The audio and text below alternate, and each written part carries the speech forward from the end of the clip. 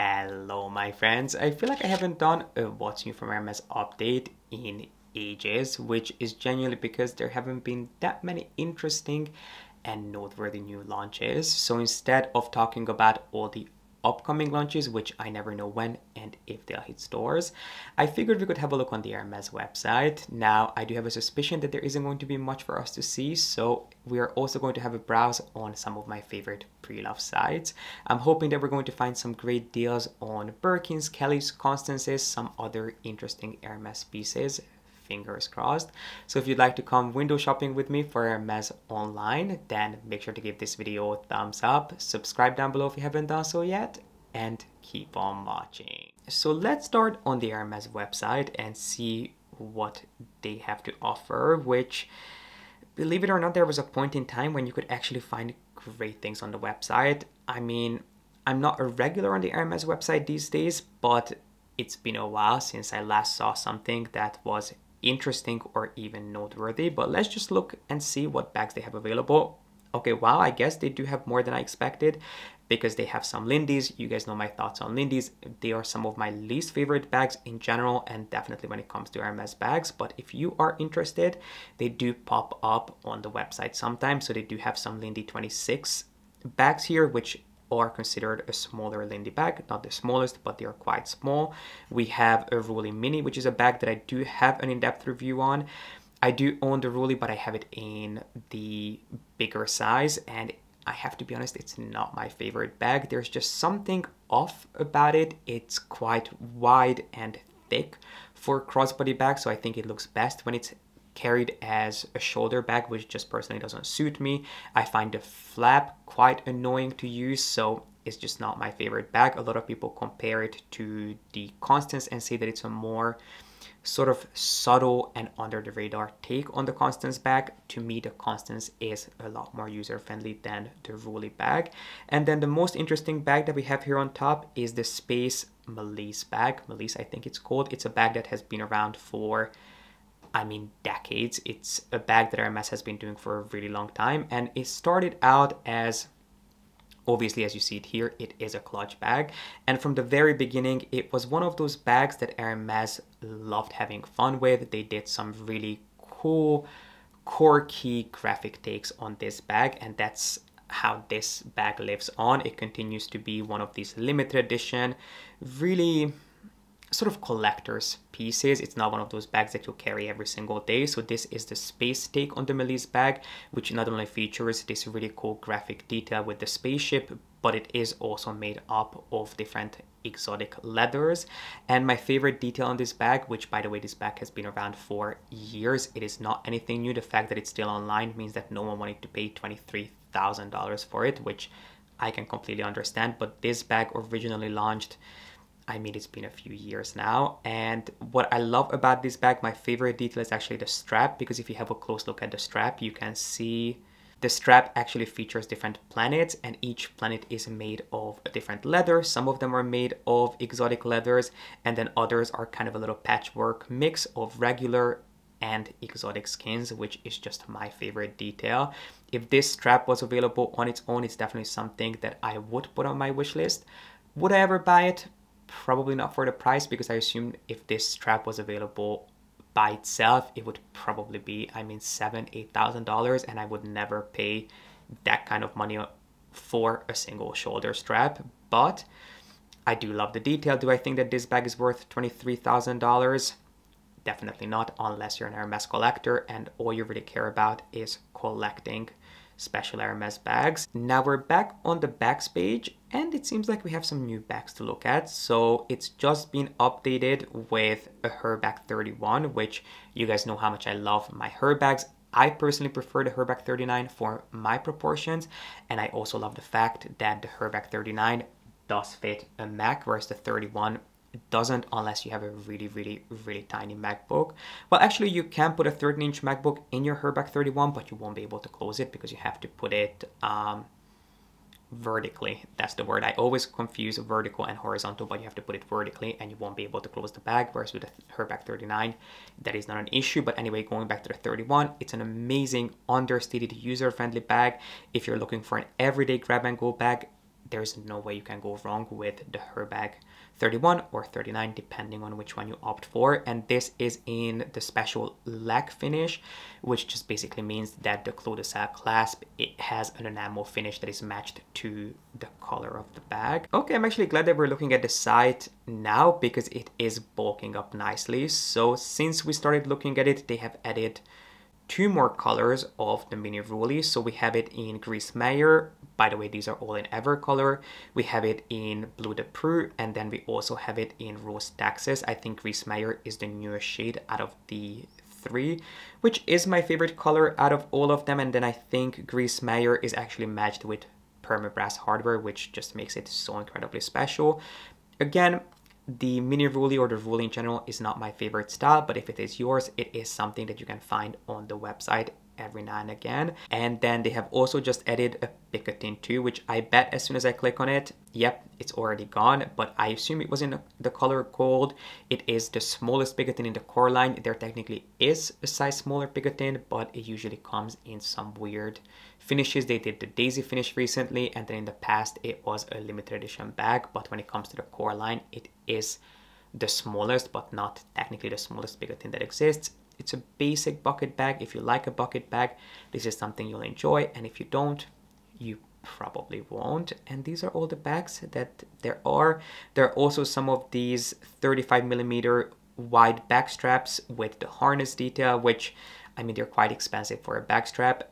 These really only work on larger bags, so unless you're going to put them on a Kelly 35 plus or a larger bolide, these are going to overwhelm the bag that you put these on, which is probably why they have it in every single hardware finish available online still. And then moving on, let's look at SLGs really quick and see what's new. So we do have some Oran Nano back charms still, which I'm not surprised by. The Pilo phone cases I talked about in a recent video of mine. Long story short, I don't really like them. If you want to hear my thoughts on these, I'll make sure to have a video linked up here for you. We have some um, of the Carré pocket pouches, which do feature the same print as Hermes scarves. Not my favorite. I'm really not seeing anything interesting here. Oh, this is surprising. So they still have the Ash Beauté, H Beauty powder bag, which I think they launched for the release of their powder blushes because the idea was that, as you can see it here, it's a hard shell trunk that perfectly fits a little travel makeup brush and then your Hermes blush. And I think there might be a card slot or two in there, which, you know, it is for the true Hermes collector and it's kind of a weird thing to buy anyway because I mean who carries just a single blush around I mean at this point you could put your powder in there your mattifying powder from Hermes but it's not something that I was blown away by I get the idea but you know it's just not something I would go crazy for okay there are some interesting things here so we have three different takes on the Roulis Slim. So let's click on it and see what color they're in. So we have it in Nata in goat skin. We have it in black with permabrass hardware, which is similar to rose gold. It's not technically rose gold, but it is more similar to rose gold. And then we also have it in black goat skin with palladium hardware. I don't personally own the Roulis Slim, but I have the Constance Slim, which is a piece that I did several reviews on. So I will make sure to have all of those linked in the info box for you in case you want to learn more about these pieces. They're fine. They're a little bit expensive for what they are, in my opinion. But if you're an SLG collector, you're going to love these. There is a Clic 16, which does come with a shoulder strap, which it's nice. I personally wouldn't carry this as a little bag. To me, it's just too small to be worn as a bag. But if you're interested, it's available now online. And then two new things, one of which is the Pochane Plus wallet, which is a weird one. I'm not really sure what to think about it. I cannot really wrap my head around the design because it's this really, really thin, almost envelope-like shape that features an extremely short strap. I don't really know what you'd be able to do with the strap because I mean, it would barely go over my arm, so I couldn't even carry it as a shoulder bag. But if you are looking for an envelope that does feature a strap, I mean, this is around. I quite like the clasp that it comes with because it features a Chaîne d'Ancre, kind of a modernized version of the Chaîne d'Ancre clasp. And then the other piece, which is quite interesting, is the Nouveau to go, which is most similar to the silk in wallet it's kind of a similar shape but it does feature a shoulder strap as well as a tiny little sort of pocket on the outside. And i'm trying to think what else we should look at. Shall we look at shoes maybe? Let's have a quick browse. So there are some heels. There are a million and one different takes on the Kelly twist closure inspired shoes. So you have the Empire sandals, which are probably my least favorite. You have some with higher heels, like the Glamour sandals. I think there is one that's even higher in terms of height. There are the cute sandals, which I actually quite like, not for myself because I don't wear heels, but if you do, the cute sandals I think are probably the most graceful out of the bunch. And I thought that there was a higher heel version of these Kelly inspired shoes. I thought there was one higher than the Glamour. If I can think of what they're called, I'll try to leave them up on the screen here, but I'm pretty sure that there is a version that features a higher heel. We have some Orans in interesting finishes. We have the Oasis, which is a similar idea to the Oran, except the heel, it features a heel, whereas the Orans are completely flat. We have some Chypre in some new colorways you know, just the basics. There's really nothing that exciting here, in my opinion, at least. These are also new for spring summer, which are the Get sneakers. They do them both for men and women, and they feature Hermes logo printed on the outside. And then, oh, they also have the Orans, but this is not the mink version. So at one point they did the Orans in mink, but these I think, okay, so these are in shearling they're kind of similar to the mink version. If I was to buy an Oran at this point, which I don't wear Oran and I couldn't because they're too narrow for me, but if I was to buy an Oran, I would probably buy it in an interesting finish. So I would either get it in ostrich or I would try to get it in mink or in the shearling finish because I do think it makes it just a little bit more special. But don't get it in that curly shearling that a lot of people get. Get it in this version, which just makes you look like the Cookie Monster, but in kind of a cool way. Before jumping over to the pre-love sides, I wanted to have the previous look at fine jewelry because there are two or three collections that I don't think we've discussed before. One of which is the Chaîne d'Ancre Chaos collection, which features rings, bracelets. I think there might be a couple of different necklaces too, but my favorite piece in this collection is the earring, which features a cuff and then also this little stud. I wouldn't wear an earring, but if you do, definitely give this a try. I think it's such a cool look. It basically features different takes on the Chaîne d'Ancre, as well as different chains and tiny little diamonds. One thing that you should keep in mind, which I heard from friends who have tried this, is that the cuff part is quite big. So give it a try, but if you have smaller ears, this probably won't work for you. And then the other piece that I'm going to show you, which is going to be much larger of an investment, but it is a new collection and it's the so-called Dash collection. It's basically a blown up oversized take on the iconic Chaîne d'Ancre and this is one of my favorite pieces in this entire collection which is this double ring and then one of the Chaîne d'Ancre pieces is in pave diamond. So if you are looking for a truly show-stopping piece which you guys know that I do love Hermes fine jewelry there are some true hidden gems and this will definitely be a head turning piece. So if you are considering buying any luxury pieces pre-loved, especially Hermes. I do have an entire playlist full of tips and tricks discussing where to and where not to buy pre-loved, sharing how to approach this idea of authenticity, what to look out for, what things to avoid, what is a telltale sign of a piece being fake or authentic definitely check out some of the videos that I did on the topic. I will make sure to have my playlist linked down below for you. And I think we're going to have a browse on Fashionphile, which I do love Fashionphile. It's a site that I discussed in depth in one of my videos before. The reason we're going to have a look here is because they probably have the largest selection of Hermes pieces. They have everything from bags through accessories all the way to shoes. One thing that I don't love about Fashionphile is that they seem to be more about quantity over quality. Not quite as bad as something like Vestiaire or the Real Real, but it doesn't feel like the most luxurious shopping experience. So what I'm going to try to do for you is every single piece that we discussed that I recommend, I will have listed and linked in the info box. You don't have to go through the thousand pieces that they have available online. So if you're interested in anything, definitely check out my info box because it will be, I'll try my best to link it down below and not forget about them. But let's jump straight in. So we are going to, I should start screen record. And here we go. So we're going to look at new arrivals, which they always have new arrivals. And I am going to select, let's talk about Hermes today, but if you guys enjoyed this type of a video, we can definitely do more of them and we can also shop for really any other brand. If you enjoyed this video, and make sure to give it a thumbs up just so I know that it's something that I should make more of. And as you guys can see, Fashionphile really carries most of our favorite luxury brands. They even have Foundry, which I didn't even realize.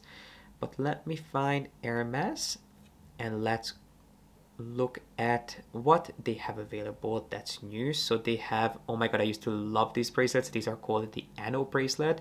And you might look at them and think what's the point of having a bracelet that's hollow? So i don't know how many people know about this but these bracelets that hermes had i'm not sure if they're still available but they were quite popular in the 80s 90s and early 2000s the idea is that you would buy these with a twilly and you would actually wear this on your wrist with a twilly underneath it. So it wouldn't just show your skin underneath it but you would actually have a twilly wrapped underneath it. So it would basically combine two of Hermes' specialties their incredible silk prints and their exquisite leathers. So that's the idea. If you ever see one of these Hermes bracelets that feature a lot of holes or a lot of cutouts usually it is because they are meant to be worn with a silk piece underneath them. So maybe that's a great way to spice up your Twilly collection if that's something that you are looking to do. We do have a Box Kelly 28 at a pretty decent price. I mean, it's in blue marine, not in black. It is definitely an old Kelly because it doesn't have the hooks for the shoulder strap. So for 9000 that's not a bad price and it seems to be in pretty decent condition. I also did a video sharing which bags I would recommend that you buy pre-loved and which ones I would not. So if that's something that you would like to hear my tips on, I'm not an expert by any means, but I can share with you my experience. I will have all of those in the playlist. We do have a Birkin 30 in chocolate, which I have to be honest, chocolate is not my favorite color. There are so many of these colors that are similar to black, but they're not quite black. My favorite is graphite. So graphite is a great color, which is somewhere between gray and black so it's a true charcoal color there is chocolate which is a dark brownish black and then there's Pruneur. Noir. Noir I also enjoy which is black with the slightest hint of purple but chocolate I'm not a big brown person when it comes to brown I really want my bags to be in gold or in some shade of Barenia Faubourg. We have a Birkin 25 here in the color chai. I love, love chai. I'm curious Oh, it's in Togo. I thought it was in Evercolor or Swift for a second just because it looked kind of smooth in the picture, but it is definitely in Togo and it is a beautiful bag. Now 30,000, that is pretty expensive for a Birkin 25, but considering the color and how tough these bags are to get, I kind of understand the upcharge. Is it ridiculously expensive? Yes, it is. But if it's a bag that you would like to add to your wish list, you don't want to wait for, and you don't want to have to build a relationship for, I mean, you could do, do worse. I guess. You see, that's what I love about Fashionphile. They have some of the most random but funnest things. So this is a saddle box that I've seen at Hermes before. It's actually something that I think I have on my Hermes wish list with my advisor. So she said that she would let me know if this ever becomes available, which is this metal box that was designed to hold your saddles and all your horse sort of equestrian grooming essentials, which they do have several of these different boxes. There are different shapes, there are different sizes, but this is one of my favorites because it is round and then it does come with a removable insert. It is really cool, but I'm pretty sure it is the same price as it is in the boutique. I can't remember exactly how much it is, but I think it is in a similar price range. So it's definitely not something that I would buy from Fashionphile. If you got a good saving, yeah, it's definitely something that I would consider. But if it's the same price as it is in the boutique, just wait to get it directly from your advisor. Moving on, we do have one of my favorite bags, which is the grooming bag. It's a great bag. We have the mosaic bag, which I don't particularly love we have a Picotin in chai with palladium hardware. I definitely prefer chai with gold hardware. We do have one of the limited edition picotins. So Hermes does play around with the picotins and they will usually make the handle out of an interesting material, a unique leather. So they did this version where the handle featured this hand woven detail. It's my least favorite special take on the picotins. I just don't really enjoy or even like the look of these woven details and the color combination definitely leaves me wanting more. This is an interesting bag. So we have a shoulder Birkin here, which launched during Jean-Paul Gaultier's creative direction, and it's at a pretty decent price. I mean, it's not in the best condition, but it is really reasonable. So if you love to carry your bags over your shoulder, if you're really into this sort of 90s, early 2000s aesthetic, it is a pretty decent bag and for 5200 you could do a lot worse with your money. Personally it's not something that i would buy because i'm not a shoulder bag kind of guy but as you can see here in the styling picture the handles are a lot longer than they would be in an actual Birkin and then the bag is also more elongated and shorter which I think is the reason I don't love it. I just don't like a horizontally elongated bag. I would much prefer this bag if they just kept the shape as is. We have a Kelly Sellier 28 in a tube in Tadelakt leather which I mean it is quite special. So it says that it's in excellent condition and I would trust Fashionphile's rating. Fashionphile is the company that I sold some of my pieces through when I was going through my collection and I was getting rid of things a few years ago. And I'm really familiar with how thorough their authentication process is. So they're definitely someone that I would trust. Would I trust them blindly? No, I would not, but I would have a lot more confidence in them than I do in some other companies out there. And for 17,500, I mean, you're definitely paying a little bit of a premium, but it's not bad by any means. So if you love the Tadelakt leather and you're looking for Kelly 28, it's something that you could possibly consider. There is, so here is a special order bag, a tricolor special order bag, which features Nata, Tri, and then Gris Meyer. So the body of the bag is Nata. It's an Epsom, I assume. Yeah, it does say Epsom. I should really learn how to read. So it's made of Epsom. The body of the bag is Nata. The sangles are made of chai. And then the shoulder strap, the handle, and then the little clochette are made of Gris Meyer, which I'm not one of those people who likes multicolored bags. I mean, I'm one of those people who doesn't like colored bags full stop. But if you are, this is a pretty nice combination. I personally would have probably done the handles and the strap also in chai or maybe in a shade of blue that could have been really nice but if you like a tricolor bag this is a pretty decent color combination to go for it's in size 25 which is an incredibly desirable size and it is a special order bag so even though it is not brand new it is quite expensive so you're definitely paying a lot of premium for this. Wow, this bag has really taken my breath away, which I never thought I would ever say about a Kelly Cut. You guys know that I'm not a fan of the Kelly Cut bags, but this is, I mean, this is genuinely breathtaking. So they do have a Doblis which means suede. It's Hermes' take on suede. Kelly Cut in the color ochre, which this has to be brand new.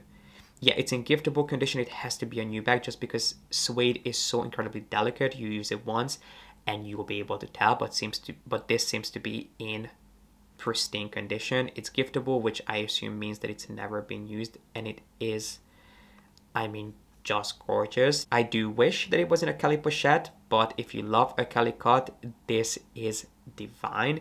Is it ridiculously expensive for 29000 well technically 28790 but with tax it's to end up being over 30000 is it ridiculously overpriced? Yes probably three times the price of the original retail price, but it is insanely special. And the fact that it is from 2022 and it's in brand new condition doesn't mean that it's it's you know you're getting a really limited bag.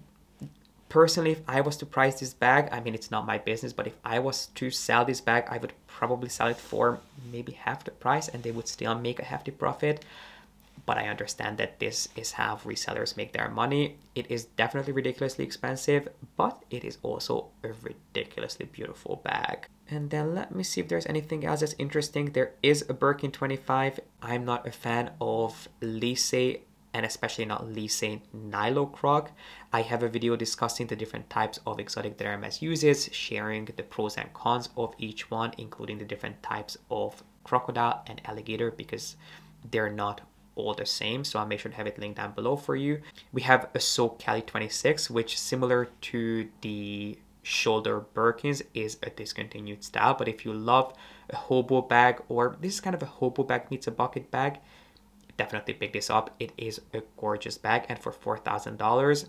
I'll link it down below for you. If it's not sold, definitely give it a look because it is a really, really great deal and it is a nice bag as long as this is a style that you would be able to take advantage of and it's not something that you could buy directly from Hermes at this point.